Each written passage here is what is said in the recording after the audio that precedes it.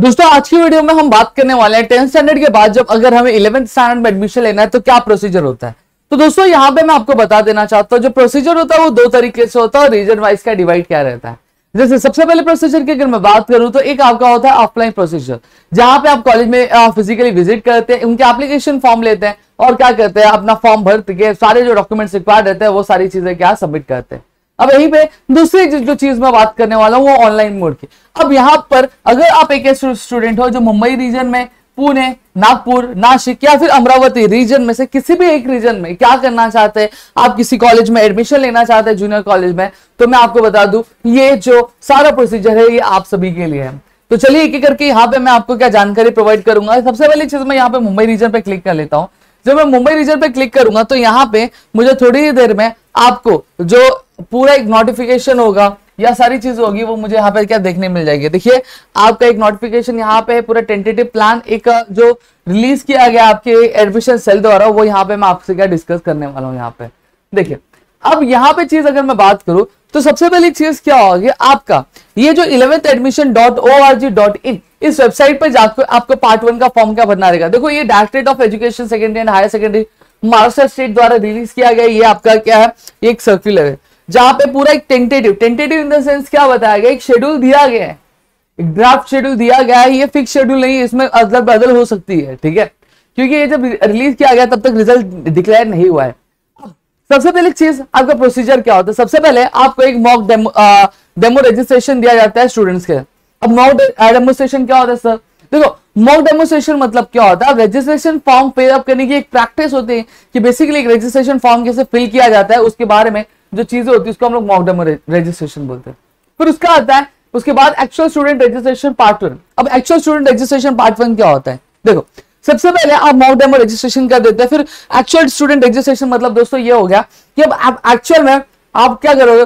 आपकी जो डिटेल्स है वो फुलफिल करोगे। मतलब सर आपकी पर्सनल डिटेल्स होंगी। हाँ आपका डेट ऑफ़ बर्थ हो गया। हाँ आपका कॉन्टैक्ट नंबर आपकी ईमेल आईडी आपका टेंथ का स्कूल ये सारी चीज़ें क्या आपसे मांगी जाएगी और वो सारी चीज़ें आपको क्या फुलफिल करनी रहेगी। और मैं आपको बता दूँ, ये आपका स्टार्ट हो चुका है दोस्तों, कभी से स्टार्ट हो आपके 25 में से क्या ये ऑलरेडी चीज़ें जो है आपकी चालू हो चुकी है और आपको क्या, आप इसको क्या भर सकते हैं? अगर आपने फिलअप नहीं किया तो अब भी जाके क्या फिलअप कर दीजिए।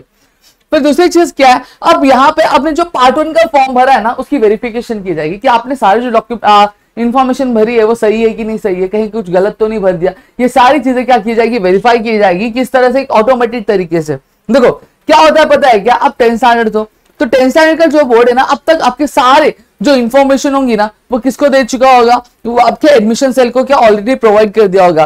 तो यहाँ पे एक ऑटोमेटिक तरीके से आपकी सारी चीज़ें क्या वेरीफाई की जाएगी? आपने सारी चीज़ें प्रॉपर भरी है कि नहीं भरी? अगर प्रॉपर नहीं भरी होगी, कुछ मिस्टेक होगा तो वहाँ पे वो आपको एक गाइडलाइंस क्या दी जाएगी? अब यहाँ पे क्या होगा? अब आपका क्या होगा? रजिस्ट्रेशन वेरिफिकेशन शुरू हो गई। अब यहाँ पे, अब जूनियर कॉलेज यानी अब जूनियर कॉलेज मतलब क्या होगा जो इलेवेंथ ट्वेल्थ स्टैंडर्ड के जो कॉलेज है, वो अपना रजिस्ट्रेशन करेंगे। अब उनको भी रजिस्ट्रेशन करना ज़रूरी हाँ? ज़रूरी है। देखो, क्या होता है कि हो सकता है कि एक पर्टिकुलर कॉलेज है, जिसमें पहले साइंस था और आर्ट्स था, लेकिन कॉमर्स का नहीं था। लेकिन ये साल कॉमर्स की स्ट्रीम में वो क्या कर रहे हैं? वो प्रोवाइड कर रहे हैं। तो यहाँ पे ये इन्फॉर्मेशन को अपडेट करनी पड़ेगी। पहले उनके पास 60 का ही इंटेक था, लेकिन अब इंटेक डबल हो चुका है 120 का इंटेक हो गया। तो यहाँ पे उनको वो भी चीज़ें क्या करनी पड़ेगी फुलफिल करनी पड़ेगी। जैसे जूनियर कॉलेज का रजिस्ट्रेशन भी क्या ज़रूरी होता है, वो आपका पार्ट नहीं है, वो कॉलेज का पार्ट है तो आपको उसका टेंशन लेने की ज़रूरत नहीं है। फिर दूसरी बात क्या होगा, जब आप, का पहला फॉर्म हो जाएगा तो आपका दूसरा फॉर्म ये होगा कि आपका रिज़ल्ट डिक्लेयर होने के बाद आपका कैप ऑप्शन फॉर्म क्या चालू होगा। अब कैप ऑप्शन फॉर्म क्या होता है सर देखो कैप ऑप्शन फॉर्म मतलब आपने कुछ कॉलेज की लिस्ट बनाई होगी। देखो, हम सभी का जब टेंथ से इलेवंथ में जाते हैं तो हम कॉलेज की लिस्ट बना लेते हैं, भाई, मेरे को ये कॉलेज में नहीं, ये कॉलेज में लेना, ये कॉलेज में नहीं, ये कॉलेज में लेना। ऐसे करके क्या, मेरी जो एक पूरी लिस्ट है वो क्या तैयार हो जाती है। अब उसी कॉलेज की लिस्ट क्या करूँगा, मैं क्या प्रॉब्लम में क्या भरता हूँ? मेरे जितने भी कॉलेज होंगे, जैसे फॉर एग्ज़ाम्पल मैं मुंबई रीजन में भर रहा हूँ तो मुंबई रीजन के जितने भी कॉलेजेस होंगे उसके एक लिस्ट आई तो उस कॉलेज की लिस्ट में से मैं क्या करूँगा, मैं प्रेफरेंस दूँगा सिलेक्ट करूँगा पहले तो मैं प्रेफरेंस दूँगा अपने हिसाब से, दो, तीन, चार। तो यहाँ पे इस तरह से कि फिर आपका क्या होगा, क्या प्रॉब्लम है? कॉलेज के कट ऑफ़ के हिसाब से आपके परसेंटेज को एनालाइज करके अगर आपका परसेंटेज आपके कट ऑफ़ से ज़्यादा है तो आपको क्या किया जाएगा? उस हिसाब से क्या कॉलेज के अलॉट क्या किया जाता है? अलॉटमेंट क्या की जाती है? समझ में आ गया? फिर उसके बाद आपका क्या होगा?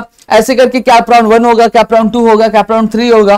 फिर उसके बाद अगर CAP round one CAP round two CAP round three में अगर कोई स्टूडेंट है जिसको अगर अपने फॉर्म भरने में कुछ गलती की है, या फिर अपने कट ऑफ़ के हिसाब से जो प्रॉपरली फॉर्म नहीं भरा है तो आपको क्या आएगा? आपके लिए एक और रहेगा क्या कैप नियमित फेरी थी आ, फेरी सॉरी कैप विशेष फेरी यानी क्या स्पेशल राउंड होगा? One CAP special round two होगा? जहाँ पे आपको क्या किया जाएगा? एक और मौका दिया जाएगा कि आप क्या कर सकते हो? कॉलेज का सिलेक्ट कर सकते हो दोस्तों। समझ में आ गया? तो ये बेसिकली एक पूरा जो प्रोसीजर था जो मैंने यहाँ पे आपको बता दिया है लेकिन अभी तक कोई भी एक कह सकते हैं ना मतलब फिक्स शेड्यूल नहीं आया वो एक टेंटेटिव प्लान है बट फॉर्म वन के रजिस्ट्रेशन ऑलरेडी स्टार्ट है, दोस्तों। आप जाके क्या फिलअप कर सकते हो? और यहाँ पे मैं बता दूँ, आप चाहे मुंबई रीजन से, नागपुर रीजन से, अमरावती रीजन कौन से भी रीजन से बिलोंग करते हो, आप जो आपके लिए जो एडमिशन प्रोसेस होगा सेम होगा, ठीक है? अब जो चार रीजन मैंने बताए थे, कौन से कौन से चार रीजन बताए थे, मैं यहाँ पे आपको बता देता हूँ। देखो देखो, अगर मैं बात करूँ आपके पुणे, पिंपरी, चिंचवड़ मुंबई, महानगर, फिर उसके बाद अगर मैं बात करूँ क्षेत्र नासिक औरंगाबाद व अमरावती व नागपुर, अगर इस महानगर पालिका के क्षेत्रातील उच्च माध्यमिक शाळामध्ये या इच्छे प्रवेश केंद्रीय ऑनलाइन प्रणाली द्वारा करण्यात येते. मतलब क्या बताया गया? मतलब ये बताया गया कि अगर मुंबई महानगर क्षेत्र में आप, पुणे, पिंपरी, चिंचवड़ महानगर पालिका क्षेत्र से नाशिक, औरंगाबाद, अमरावती व नागर नागपुर महानगर पालिका क्षेत्रातील उच्च माध्यमिक शाळेमध्ये इत्य ग्यारहवीं चे प्रवेश केंद्रीय ऑनलाइन प्रणाली द्वारा कर, करण्यात येतात. मतलब अगर आप इनमें से किसी भी एक रीजन में तो वहाँ पे जो इलेवेंथ का एडमिशन होता है वो ऑनलाइन बेस पे होते हैं. बाकी सारे जो रीजन होते हैं उनमें मोस्टली जो ऑफलाइन बेस पे होता है जैसे कोटगन रीजन हो गया. अभी जहाँ हम स्टे कहते हैं वो एक बेसिकली कोटगन रीजन है. तो वहाँ पे आपकी ऑफलाइन मोड पे एडमिशन होता है जहाँ पे स्टूडेंट्स खुद जाते हैं कॉलेज से एडमिशन फॉर्म लेते हैं फिलअप करते हैं और बाकी सारे प्रोसीजर क्या परफॉर्म करते हैं.